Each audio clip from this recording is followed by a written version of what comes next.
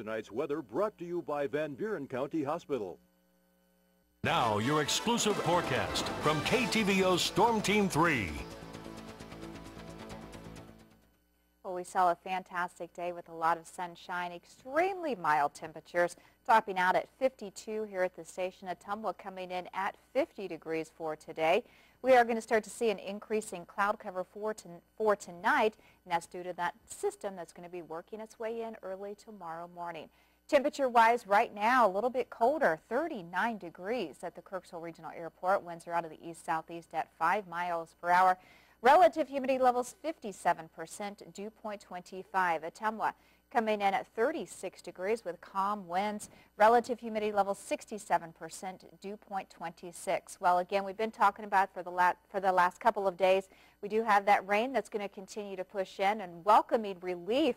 Uh, we sure do need the rain. Around 7 o'clock, uh, it's starting to move into southern Macon County, and then it's going to spread north and east as we're heading throughout the day. Could hear some rumbles of thunder. Very isolated chances for some thunderstorm activity especially from Kansas City through Macon area. No severe weather is expected, and then it'll continue to push out of here very late tomorrow night into early Friday morning. So how much rain can we expect? Well, right now, anywhere from a half inch possibly up to an inch, more likely about a good three quarters of an inch, again, which is very welcoming since we are in still in that extreme drought across our viewing area. As far as the temperatures for tonight, 33 degrees with partly cloudy skies, southeast winds 5 to 10 miles per hour.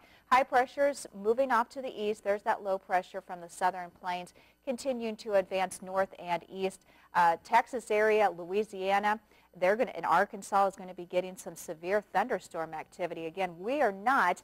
Again, we are going to get just some uh, heavier rainfall as we're heading throughout the day, especially early in the start of our Thursday. Again, by Friday, by Friday, very early, that'll be out of here. Then we're going to see a very delightful day as we're heading into Friday. In fact, we could see temperatures topping out uh, near 60, possibly 61. That's our new, that's the record. 61 set back in 1928. We could be topping that or at least matching that. We'll have to see. But before that, or, or after that, I should say, we do have another system that we're watching moving in into the central plains, and that's going to bring us one, colder temperatures on the weekend, and number two, Saturday night bringing us a chance of some snow. Unfortunately, uh, we're going to go from one extreme to the other with extremely mild temperatures and rain and then some colder air and snow. 45 degrees as your high for tomorrow with rain chances likely, so don't forget your umbrella tomorrow on your way to work and school. Southeast winds 5 to 15 miles per hour. And if you're thinking about going to the budget workshop in Batavia City Council, it's being held at 6 o'clock tomorrow evening. Temperature-wise, 44 degrees with a chance for some rain showers, and that'll be held at the Batavia City Hall. Otherwise, tomorrow night, overnight lows around 40 degrees, very mild. We should be about 13 degrees. Uh, rain chances continuing out of here by midnight or a little bit after that. Southwest winds 5 to 10 miles per hour. And then a great day on Friday, 60 degrees. We'll see partly sunny skies, 32 overnight low Friday night. Saturday, 35 with a 30% chance of snow moving in late Saturday night. Sunday, much colder, 26 degrees with mostly sunny skies. Of course, you can get your forecast 24-7 at heartlandconnection.com. Big temperature difference. Oh, wow. That's going to be a shock. Exactly. From Friday to 60 to 26 on Sunday. Okay. We're forewarned.